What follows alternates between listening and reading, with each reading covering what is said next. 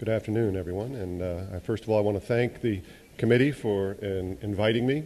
Um, I've never been to um, Florence before or even Tuscany, and, and, I have fallen in love with this city. So um, it was difficult for me to come to uh, do my own presentation. I had just gone and seen the uh, David and was uh, so moved that I lost track of time. But I'm here now.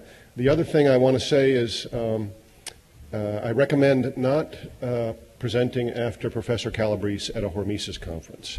Um, he pretty much uh, covers the entire gamut, as he should, and as you'll see in my slides, I am referencing many, much of his work. So uh, I think I would uh, recommend that you look at, at uh, my lecture today as an, an, academic one in which it will be an opportunity to sort of underscore what uh, Professor Calabrese has said. Um, so I'm going to talk about some possible clinical uh, applications for hormesis, um, but I want to begin first with uh, a discussion of, of why it has taken us so long to really to come to this point. And let's see if I know how to work this. Good.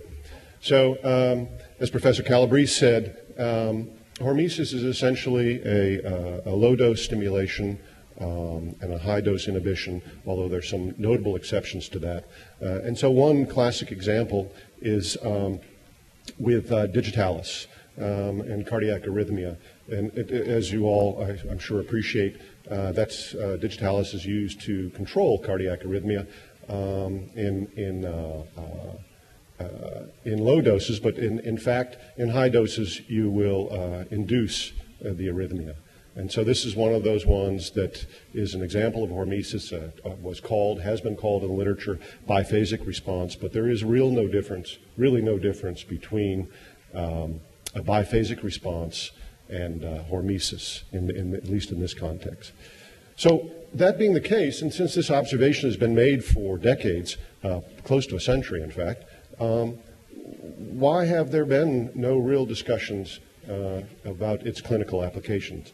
And I'll steal some of my own thunder. One of them is the point that, again, Professor Calabrese made that uh, pharmaceutical companies are looking for blockbusters. They basically want to roll out the cannons um, and get a gigantic effect. Whereas most of what is being talked about here today is in the 30 to 60 percent range. But I think I'm going to point out for you, I hope I point out for you, that there are some examples where 30 to 60 percent is exactly the right, uh, the right change that we really should be looking at.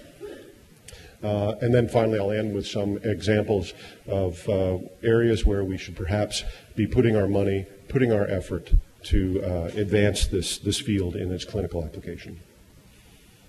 Um, so uh, this is uh, my, my, uh, my bit of attempt at humor here. Uh, I didn't actually uh, make the drawing, of course, but uh, it's a way for me to sort of relax my own and produce a, a, hormetic response. I feel a little better after I read this joke. So it says up there, how do you know this is wrong? And he has added 11 and 12 and come to uh, 1,112. And he says, maybe it's just unorthodox. So anti-cancer agents um, in fact, can uh, anti-cancer agents, and I, they use the term uh, properly, these are agents that have been shown to be anti-cancer in high doses, but in fact, in low doses, they can enhance tumor growth. The uh, tamoxifen is a particularly interesting and disturbing example. Tamoxifen is given to uh, women who have um, either have breast cancer or have uh, uh survived uh, breast cancer uh, chemotherapy or surgery. And in fact, it, at the doses that they take, um, and they take tamoxifen on a, a weekly uh, or biweekly basis, depending on, on uh, who's prescribing it and what's being prescribed for. At the, at the dose that they take, they are anti, uh, anti-cancer. However, as time progresses and uh, the days go by before their next dose, the concentration of tamoxifen in their bloodstream decreases. Now, this has not been shown in any good clinical studies, but you can demonstrate in tissue culture that the concentrations that are found in situ in the blood of women who are taking tamoxifen, the concentrations that are found at the end of their dose is just the right dose to produce and in, in, in, um, encourage uh, their, the tumor growth that they're trying to inhibit. And uh, it's, it's this observation that really needs to be uh, uh, pursued with more vigor because it could be that you need to be very careful about the dosing that's done with tamoxifen and be very and look for this low dose response. And it is not typically done. Looking at the, at the hormetic range is only now starting to reach the pharmaceutical literature, and, and it's just barely coming into that area. So why, do, why, why is this now? Why, is it, why are we in 2012 and just having this discussion? Why, why haven't we had these, these lectures 10 years ago, 20 years ago, uh, 40 years ago, in the 60s, and in fact, when this whole area and this whole concept was developed at the beginning of the 20th century? Why, why are we 100 years later before we're even having serious discussions about it? One of them is that it was developed within the field of toxicology and that, that uh, there's often very little crosstalk between disciplines. So uh, toxicologists are only talking to biologists about poisons and environmental damage, and biologists are only paying attention to toxicologists when, when that's the discussion. And this is uh, observed, and we all know this intellectually, but still the difficulty in having crosstalk between disciplines. The terminology that's used in each discipline do not, does not lend itself to having those kind of discussions. And so that, that was one thing that has delayed the discussions we're having today. The other one was in the early days, um, it was thought to be strictly stimulatory. Uh, that is, the hormetic response was, was thought to be strictly stimulatory. And so there was um, a, uh, a, a, feeling that, that this was um, a biased observation, and I'll come back to that in a little bit. And again, uh, uh, Dr. Oberbaum came up. Are you still here, uh, Menachem? Uh, but at any rate, uh, Dr. Oberbaum came up at the beginning of this, this lecture today, and he said, uh, I'm one of the people that thinks there is no association between hormesis and homeopathy, and I don't want to, I'd be happy to debate him about that, but I'm actually not sure that, that he isn't correct. In fact, historically, though, Hormesis, when it was first developed as a concept at the early part of the 20th century, was grabbed and picked up immediately by homeopaths as the explanation for uh, homeopathy. The mechanism had finally been discovered. And because, as I, I suspect you all appreciate, homeopathy um, has often been a marginalized and uh, and uh, thought of as quackery in, in some fields, that reflected on hormesis and caused the people who were interested in hormesis to ignore clinical research, to stay within toxicology, because it felt dangerous to them to even get involved in this debate in the medical world. And so, it, again, it inhibited the translation of this knowledge into practice. And as I mentioned before, and has been brought up uh, earlier today, high dose pharmacology works wonderfully well. Nobody's going to dispute the power of an antibiotic. Uh, nobody's going to dispute uh, the power of chemotherapeutic agents. Um, there is, of course, as we are now aware, a problem associated with, with high dose pharmacology, and that is that you can, in fact, um, generate what are now being called superbugs. Um, basically, it's a gigantic evolutionary experiment where we, we kill off 95, 98% of the bacteria in our bodies, and our bodies then can take care of the next 2%. But in the environment, if you're doing that in a hospital environment, if you, you have 2% of the bacteria left in the room, in an operating room, they very happily multiply and what you have left, what you started with, were the 2% that were resistant to the pharmaceutical agent, and this produces what we now have a number of very dangerous, very deadly uh, bacteria that we really don't have the tools to deal with. Um, so, but when the introduction of high dose pharmacology in the um, in the mid 20th century, early 20th century, there was not much interest in looking at something that produced only a 30 or 60 percent range uh, change when, in fact, you could uh, pr- provide a drug and get a thousandfold, a millionfold decrease in uh, or, or uh, effect from the agent. Um, and then, importantly, um, there was a disastrous first attempt to bring hormesis into clinical practice. I'll come back to that in just a little bit. Um, and and uh, a person of note that is, he was very wealthy, died, um, and I'll come back to that. I think it's in my next slide, so let me steal my own thunder. Um, so, termed in, uh, the term arose, hormesis, the term arose in 1943. Uh, two toxicologists uh, developed this as a concept. And uh, until recently, essentially because of Professor Calabrese's work, it was considered uh, a fringe idea. It was not a major idea in toxicology. Professor Calabrese and his colleagues have, have brought this much more up into the public eye, and um, he talked quite a bit about the threshold uh, model, and there are now textbooks out there, toxicological textbooks out there, that do in fact make reference to he- uh, hormesis and point out that the uh, threshold model may not be applicable in many situations. But, um, but in the beginning, it was, it was on, the, on the fringe. Um, it's still, hormesis and, and this work is still principally in the environmental risk assessment areas. Um, in, in uh, some of my work, which I'll show you a little later, and in some other folks, uh, it's becoming more and more into the biomedical world, and you'll hear more about that today, I'm sure. Um, you can now find it in pharmacology texts.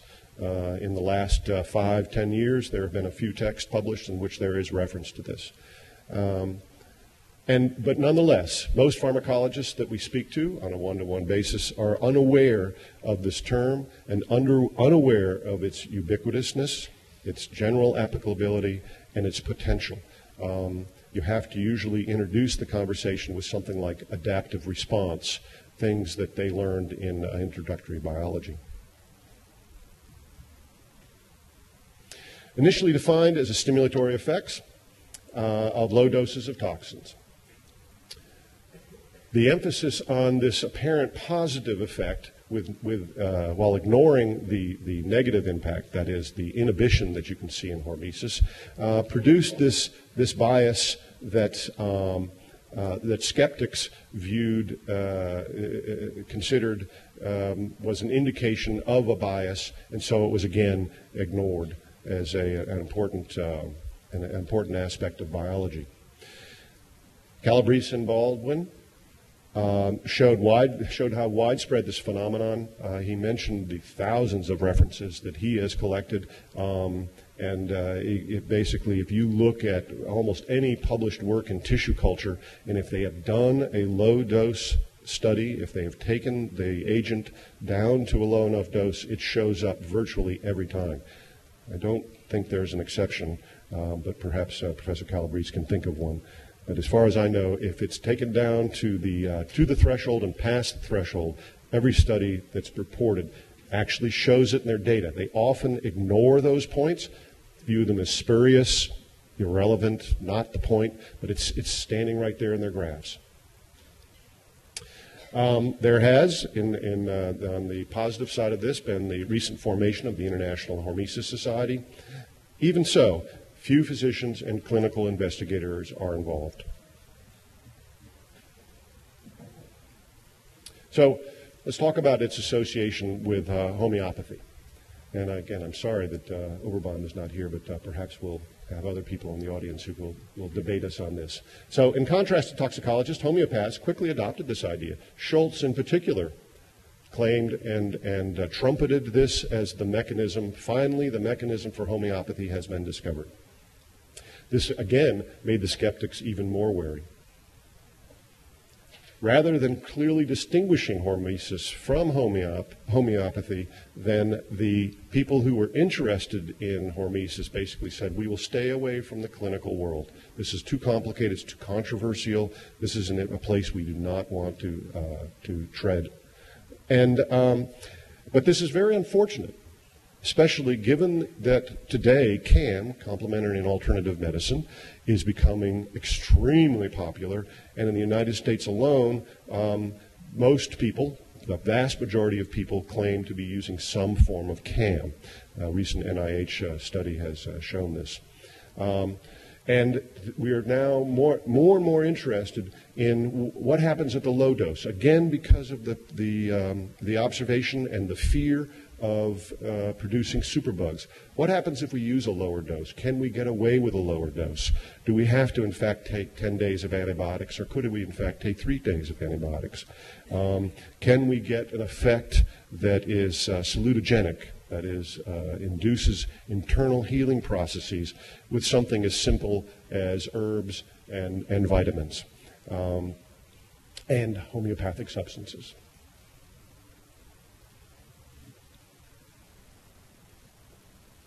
So, as I mentioned before, the power of pharmacology, antibiotics, anesthetics, analgesics, chemotherapeutic therapeutic agents, these are very effective.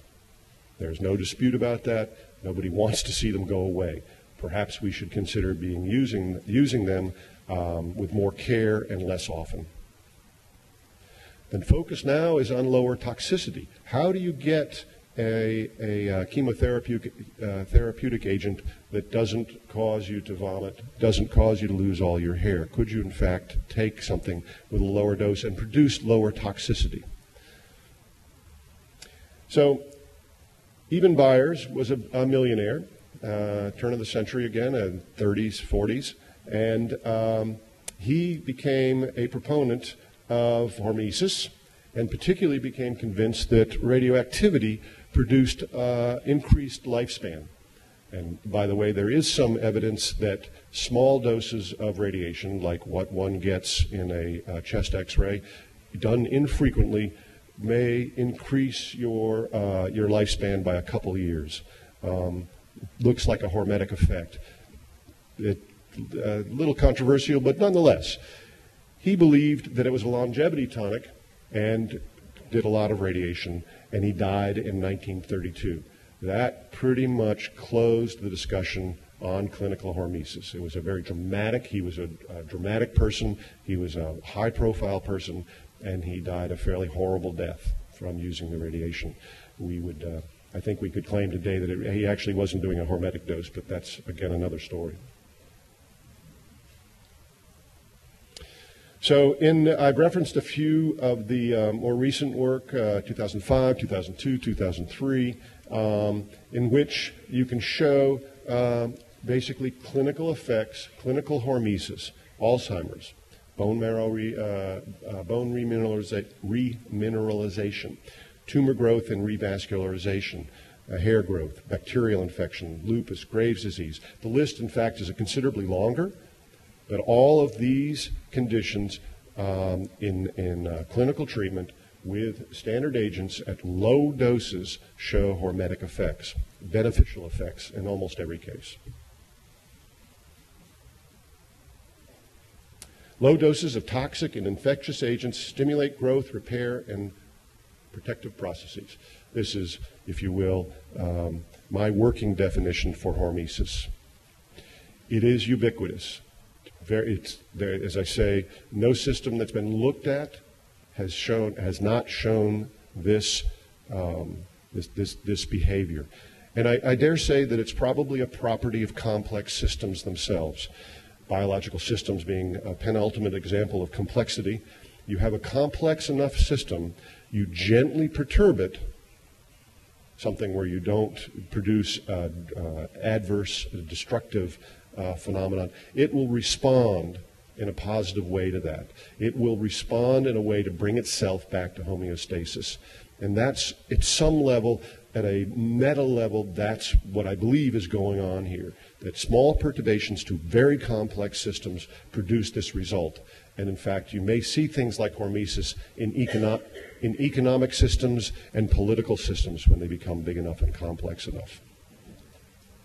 So, uh, one of the more interesting ones that has always struck me as fascinating, um, and I'll tell you a little story around this, is dioxin.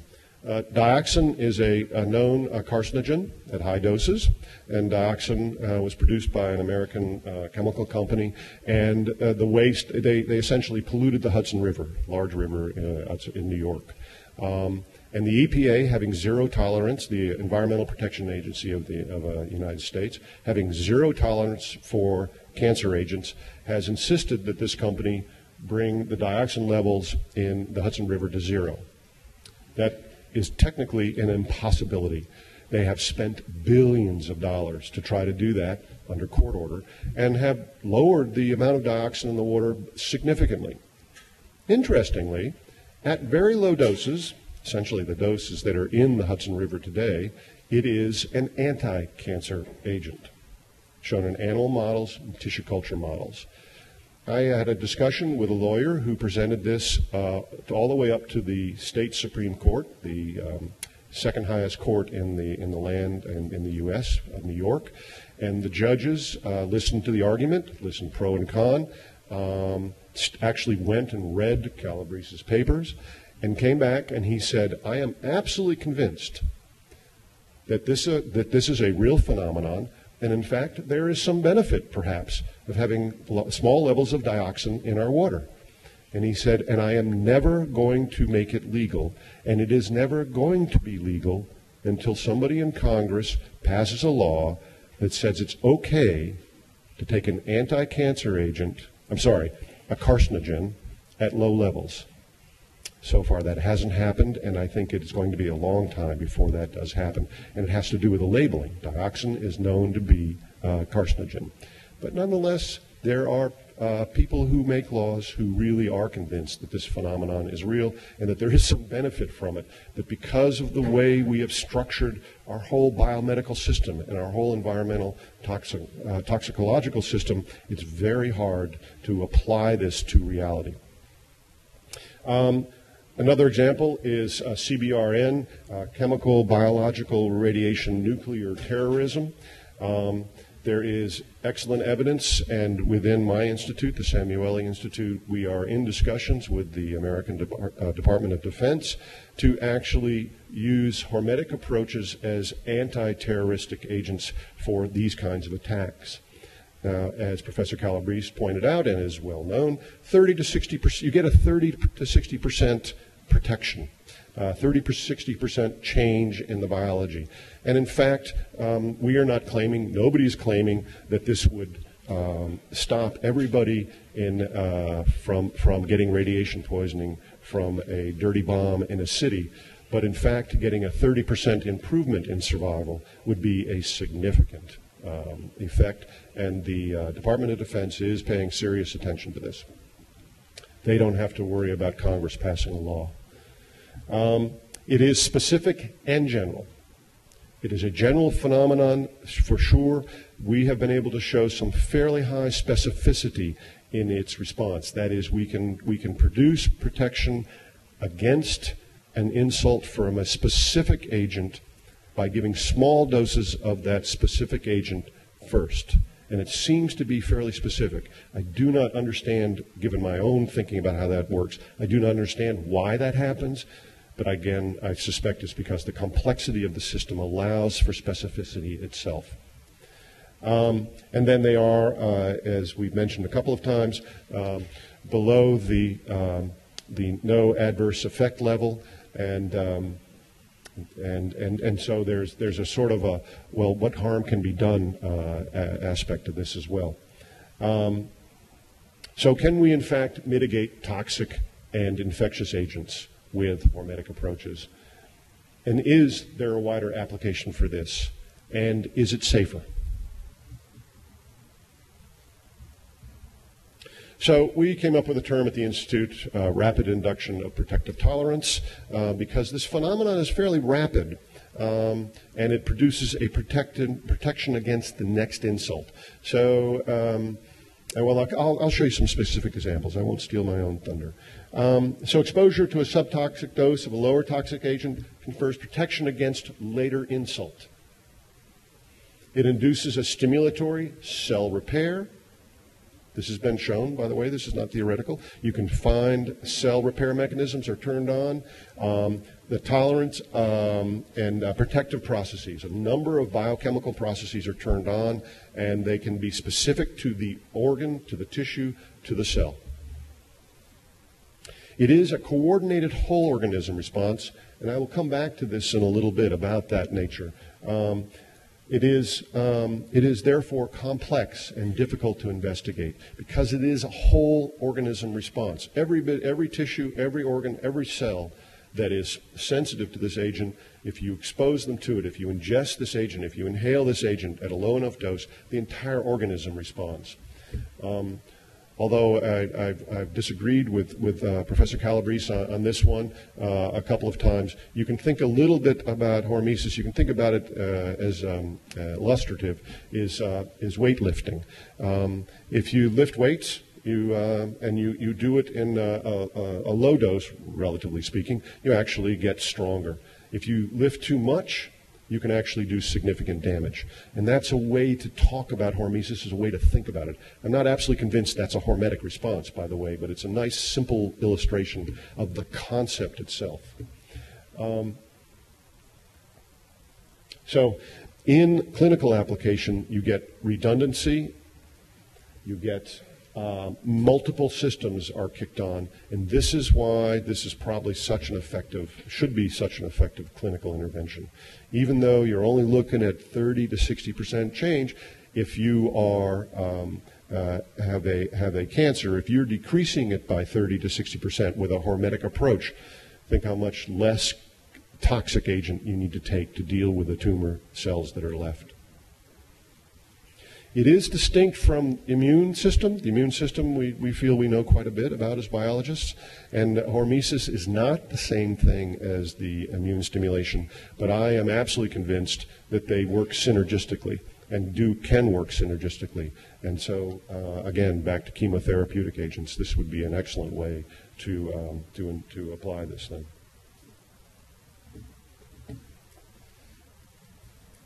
So, um, you can show in, um, in all of these systems here, in all of these occurrences, um, uh, hormesis. Uh, pre-exposure to uh, low levels of heat induce heat shock protein, and then the next time you uh, expose the organism or the cells or the tissues to heat, they will tolerate significantly more heat because the hormetic system has been turned on. The cells have set up their protective processes. They've got cell repair mechanisms already kicked into place, and so the next time you insult it with the same agent, they're prepared to deal with it, and they can tolerate more of that agent nicotine, low levels of, uh, of, of, nicotine. My colleagues over here were, were saying, wouldn't that be wonderful if only two or three cigarettes a day were really good for you? Well, in fact, the evidence is that, that that's true. Um, a couple of cigarettes a day appears to be an anti-Alzheimer drug. The problem, of course, with nicotine is it's the most potent um, addictive drug on the planet, with maybe one or two exceptions. And it's very hard to do just one or two cigarettes a day. Um, alcohol. Same thing. A little bit of alcohol appears to be very good for you. We've all seen the literature, I'm sure, where for men, uh, two ounces of alcohol a day is um, apparently excellent for your health. In the case of women, it's one drink a day. Uh, again, the problem, though, is that alcohol um, is very hard to prevent having three drinks or four drinks. But if you actually keep yourself to two drinks, the evidence is, is overwhelming that it is, it is actually good for you.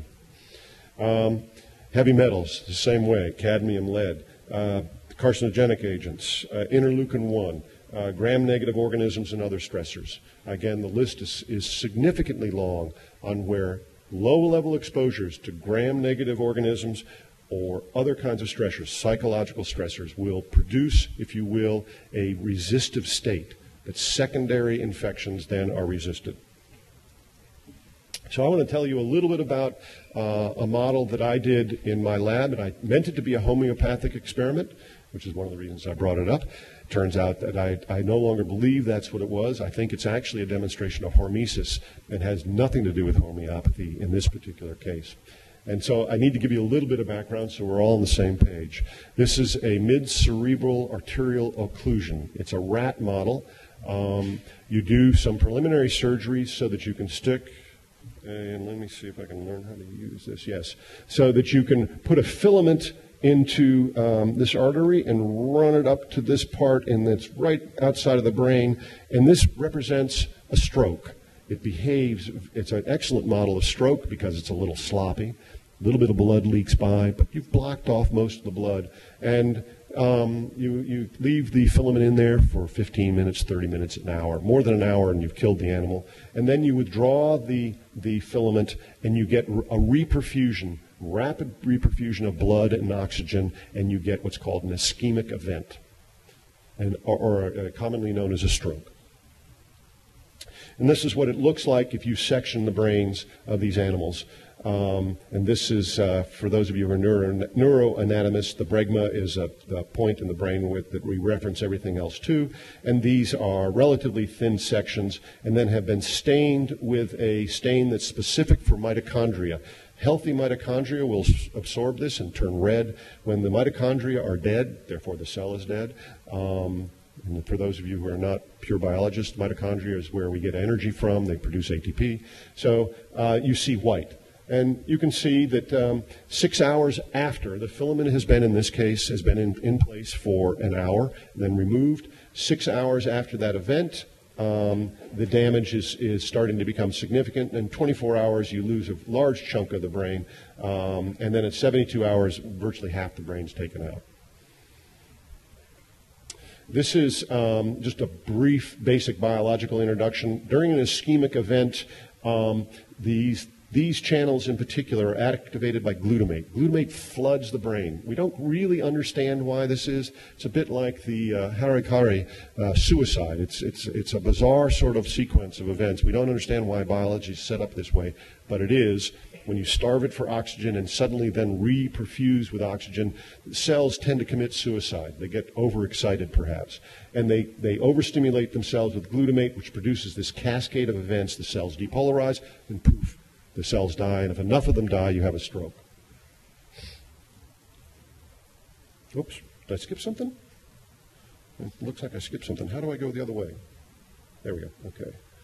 Oops. Okay. So um, this is ultra low dose glutamate. It's, in fact, uh, I made the glutamate uh, myself homeopathically. That is, I put it in water at one molar and I succussed it uh, until I was down to what's called 30C, which amounts to 10 to the minus 60th molar by calculating. And those of you who know Avogadro's number, well, I am at least um, 20 orders of magnitude less than Avogadro's number. So the probability of having even one glut- glutamate um, molecule in there approaches zero, if not absolutely zero. And what I did is I gave this to these animals after the stroke, which again, the, the physicians in the room will appreciate the significance of that. So the ischemic event has occurred and I give it to the animals. Uh, been, i inject it um, in a, in a, in a uh, inline that we put in before the, uh, before the experiment began, and I inject r- relatively large quantities um, of, this, of this preparation. And in the control animals, I inject water. So uh, my experimental one is a homeopathic preparation in water, and the, uh, the control is just the water. And if you, in the water, uh, oh, and by the way, the, this, is, this is just the animal that was in the middle of all my other animals. You get always variation in all, in all animal models. There's a lot of noise in them. So there were some animals that had virtually no evidence of ischemia, and some animals that, were, that looked like um, they, had significant damage, even though I had, had done this intervention. So I didn't look for the slide. I simply took the numerical middle, the norm, and this is the kind of damage you see about half of, the, um, of this part of the brain is obliterated. That is, the cells are dead. This is where the glutamate, this is an animal, again, just the statistical uh, median. Um, and you'll notice that there is, uh, well, you perhaps you can't do the calculation, but I use a computer that actually measures this area. This is over a 50% reduction in the ischemic size. This is phenomenal. If this actually works, in clinical setting, this is a major breakthrough because the problem with a stroke is that you only the clinician only sees the stroke victim after the stroke. And all the damage is thought to have been done. Somehow, this actually is able to stop the damage or reverse it. And I find that a little hard to believe, but nonetheless, this is a dramatic result. I'm actually convinced that it's, actually, that it's not a homeopathic event because we started looking at what was in this, this solution. And as I told you, there's no glutamate, but what there was there is silica and boron and sodium. And for the chemists in the room, you'll appreciate borosilicate glass is just that. It is glass. And that's how I made the solution. And we did some very sophisticated chemical analysis and showed that in this solution, the only thing I could measure and the only thing that should be there is glass. And I don't have these pictures with me today, but we actually went back and did this experiment, and we applied, we just injected dissolved glass into the animals instead of a homeopathic solution, and we got the same results. It's essentially a low dose application of silica to the brains of ischemic animals, and it produces protection. And we also did uh, proteomics and genomics, and we show cellular repair mechanisms are turned on by the application of silica.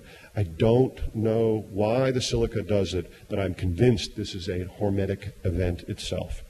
And once we can get this published, I've tried to, I've submitted this, by the way, to three, at this point, six journals. They all have rejected it because they bring what I believe is a dogmatic, dogmatic approach to this, which is this simply can't be so.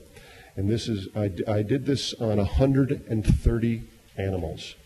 And first of all, my karma is probably very bad, having uh, damaged 130 animals. But for those of you who've done any animal research, that's about 10 times more than you have to actually do. And the significance is p point, uh, the p is 0.0005. Um, but it's still not being accepted in the literature. So wish me luck. Another study we did, which did get published, by the way, because it's a little less controversial, is using cadmium. Um, we used uh, low doses of cadmium, that is below the NOEL, below the toxic level, and we exposed uh, prostate cells in a tissue culture model human prostate cells. And we were able to show through uh, genomics and some other sophisticated methods that both uh, the MRA is turned on for a particular metallothionein.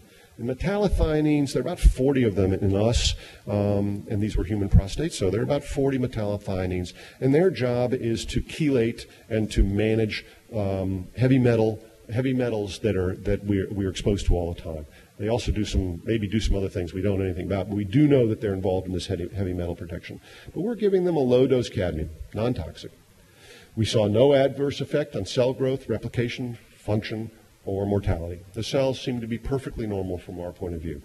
But we then exposed them to a high enough dose of cadmium to, be, to have um, to be known to be carcinogenic. It induces a transformation of the cells to the prostate cells to cancer cells, to, to cancerous prostate. And, um, and we, of course, we did the control arm, and in our hands, it behaved the same way. The high doses do this. But in fact, what happened is that it delayed the transformation. It didn't prevent the transformation, but it delayed it, delayed it for um, weeks before it onset. And interestingly enough, this uh, non toxic exposure lasted, whatever mechanisms were turned on, whatever the hormetic mechanisms were turned on, and we believe they were metallothioneins, um, that protection lasts for weeks. The application might be that low dose cadmium is um, an anti prostate cancer uh, dietary supplement. And for those of you who may be in prostate cancer research, not based upon our work, but based upon some other epidemiological work. The NIH, the National Institutes of Health in, in, um, in America, uh, provided a large multi-center grant to, act, to explore this idea that low-dose cadmium in men's diets would, um, would provide protection against prostate cancer. About uh, nine months, 12 months into this study, uh, it was discovered that in some of the patients, they were getting a higher incidence of prostate cancer. So the study was stopped. Later analysis in, has, has indicated to us that it was a hormetic response. Cadmium comes from our environment, it's in our food. Unless you live in certain parts of the world where there is very little, very little cadmium in your environment. It also comes from Brazil nuts. I don't know what the Italian word is for Brazil nuts, so hopefully the translator knows it. But Brazil nuts, which are these large nuts that come from Brazil, are very high in cadmium. The people that were dying lived in environments where their diet already had a high level of cadmium in them. And the therapy that was being applied pushed them into the high dose range of cadmium and induced the prostate cancer. For the men who were in relatively low cadmium environments, the cadmium diet was producing protection from prostate cancer. Unfortunately, because of the way the rules work at NIH, if your people start to die in your study, they close it down and they're not likely to reopen it. So we've been able to un- unable to reopen that study. But I, I would like to encourage all the men in the room to take a look at their environment and see how much cadmium is in their environment. Maybe eat some Brazil nuts. Um, so I think that's this entire slide. Um, so um, in 2004, in the New England Journal of Medicine, premier journal, um, there was reported a study in which low, um, uh, low dose influenza vaccines actually produced a, um, an equal and perhaps better um, uh, anti-influenza uh, uh, effect. Um, so this phenomenon uh, has, not been applied, by the way, uh, in in uh, in in, in, reality. But again, it could be that lower doses of influenza vaccine is actually the way to go, and the evidence supports this very strongly. Um, the problem, of course, like it is with, with many new areas, is that we don't really have a good mechanistic understanding of what's going on. Um, it is difficult to optimize low dose effects. Your, your range at which you see this phenomenon is fairly narrow, and the studies necessary to do this, we're, we're now getting into uh, pharmaceutical company level uh, of investments that require this to really optimize this dose. And as I just pointed out in the um, cadmium and prostate story, uh, it can be a very tricky uh, place to be. And um, and then the uh, again, uh, there's something we've talked about a couple of times today. In many many studies, there is a failure to take it past the threshold because everybody knows, and you'll notice my air quotes. Everybody knows that. Um, uh, that the threshold level, after the threshold level, nothing important happens. That's simply not true. And as I say, bizarrely enough, people who have studies in which they've looked past the, uh, the threshold level, the observations are just thrown away as being unimportant, or if they're mentioned at all. So, where do, where do I think there should be uh, research uh, areas to, to pursue? Where do, I, where do I think the sweet spots are here? In toxins. Examination of the protective effects and cellular mechanism of the low doses and cellular toxins and several types of stressors would be a great place to start looking for beneficial effects. Uh, some examples botulinum, cyanide, cadmium, congee, ricin. Ricin, one of the most deadly substances on the planet. Small amounts of ricin are, actually appear to be protective against further insult. Um, viruses. The, uh, the influenza study that I just showed you um, indicates that um, uh, looking at antiviral uh, remedies and looking at the low dose uh, end of antiviral um, work would be a great place to uh, to probably find some uh, some fruit, fruitful ground. Food and diet. Um, the salutogenic, I don't know if you know the word, salutogenesis is this idea that we have intrinsic healing processes and you can induce them with things like low calorie diets. There's great evidence that low calorie diets uh, extend life in primates, uh, excuse me, in uh, rodents. Unfortunately, there's uh, two recent studies, one from University of Wisconsin, one from the NIH, that indicate that does not work in primates. So it looks like it won't affect our mortality, but I can tell you from reading those papers that it does decrease. Uh, low, low, um, low calorie diets do seem to decrease in these primates uh, the incidence of tumors um, and diabetes like phenomenon, which of course makes perfect sense. So low dose diets, low calorie diets, essentially a hormetic phenomenon. Um, and of course, exercise. I mentioned um, the fact that um, I, I, I, think uh, weightlifting may not be true hormesis. It may be closer to uh, adaptive response, and the relationship between hormesis and adaptive response we can talk about uh, perhaps later today. But exercise, clearly, um, there you can exercise too much, cause damage the right amount of exercise um, is, is very good for us. Uh, and perhaps you all will ask uh, Professor Calabrese about his experience uh, as, a, as a bike rider. He's a serious rider, rides 100, um, 100 kilometers a day. How much? Almost, yeah. So, um, and he's, he's in excellent shape. Um, and, I, and then herbs, and of course, homeopathy itself in spite of the fact that there has been a division between hormesis and hormetic researchers in homeopathy, that may be premature. And uh, Professor Oberbaum's um, uh, introductory talk notwithstanding, I think that's we shouldn't close that door too fast. And then stress management. A little bit of stress is good for us. A lot of stress is bad for us. But we appear to be responsive to a little bit of stress. You know, it's good for us. You don't want to have a completely easy life. You want to you want to deal with some troubles. It seems to be good for us. And I think that's my last slide. Thank you very much.